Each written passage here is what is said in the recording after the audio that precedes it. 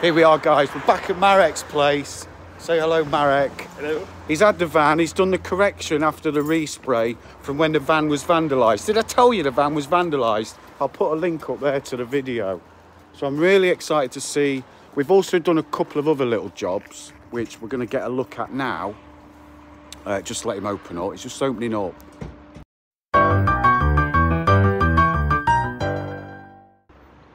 So we'll get a look at what he's been up to. I'm really excited. Every time, every single time I come here, like, I just get, he does such a good job. Like, it's unbelievable. The van just looks gleaming. I can see it. I can see it through there. It looks amazing already. But let's let's get in there and talk you through what we've been doing. Oh, it's changed. He's, ch he's polished the van into a Mercedes. Look at that. Here we are, guys. What? It just looks amazing all the time. Yes. So the first thing, guys, that we've done different here is we've put the wrap on the chrome. There's two chrome strips there. And we've put some gloss black wrap on there. Mate, that looks, It looks right? it looks amazing. It Thank you. It looks different, but you can't tell why it looks different. Yes. Do you know what I mean? Yes. It's one of those. But troops, that's coming off in this video. We're going to be replacing that. So we've polished out all of the overspray and everything that was here from the from the repair job.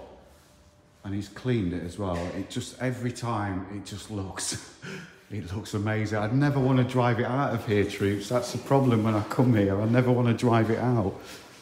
Uh, what else have we done? We've debadged here, troops. We've got another badge going on here, which we're going to get into on this video as well. Uh, we've took off the uh, the company that did the uh, conversion. We've took their sticker off as well. Marek has again touched up the scuffed paint from the bumper Awesome. there. Just a little bit more there. And there was a bit there as well. Ah, but mate, all in all, it Looks looks, looks amazing. Thank you. Such a great job, Marek. You do amazing work, mate. Thank you. But yeah, that's it, troops, for, for here. We're going to get this back over to uh, the car park and we're going to get the new badges on. So do look out for that in the rest of this video. Cheers, Marek. Cheers. Super job. Thank you. So there we are, troops. This should just pop off with the trim tool. I've seen a few people doing it on uh, YouTube. I always watch a video or two before I try it myself. That's not um, that's not that's not popping off very successfully. Let me tell you, it's not as easy as some of those other guys make it look. Let's try there. Oh, I'm pushing the the grill in rather than popping the badge out. That's the beauty of doing it live, troops. You get to see exactly what the situation is. I can't get the tool behind there. Let me see if I've got a better tool in the back. Try this trim tool, troops. Nope. It goes up there. Ah, there we go. I've got it started.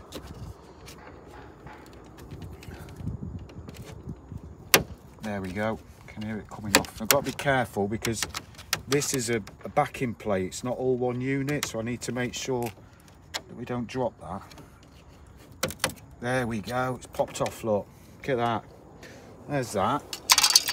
There's the backing plate there. Bit of a wipe.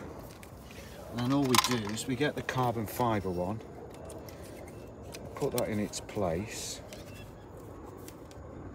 Hopefully that fits in there like that. There we go. And then that should just pop back and get it lined up. That should just pop back on there. Like that. Push.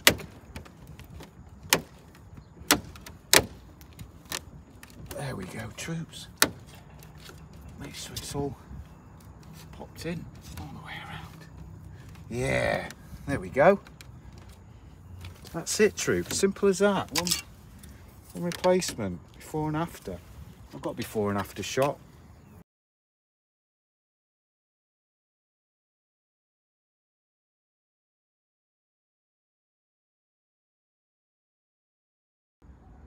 So I've just moved round to the back troops. You can see here, this is where Marek has took off the old badge. He did that for me while he was sorting out the, the damage from the vandalism. I know I keep talking about it, but I will keep talking about it.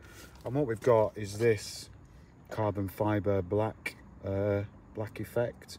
VW badge just sticks on 3M at the back. Um, so yeah, the only thing with this one is getting it lined up properly, I guess. Let's get the backing off. Backing just comes off like that. Well, that's satisfying. Anyway, let's get this nice and square before we put it on there. That looks about, using my fingers and thumbs as a guide, that looks about where it needs to be. I mean, it's too late once it's on. there we go. I'm doing that. I'm putting that on. Bit of pressure on there. You can hear that tape. Doesn't seem like it. I just leave that there. I think you have to keep some pressure on it, troops, a little bit, just till it, just till it takes. I mean, realistically, it's not going to go anywhere, but you want that glue activated as much as possible so that you're not completely debadged when you're driving down the road.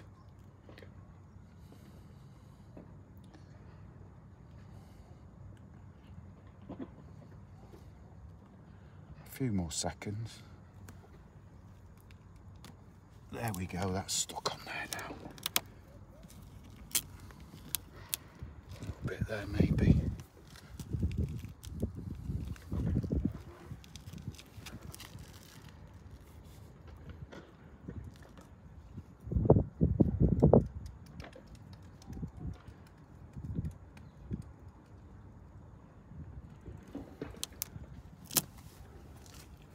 And there we have it, troops.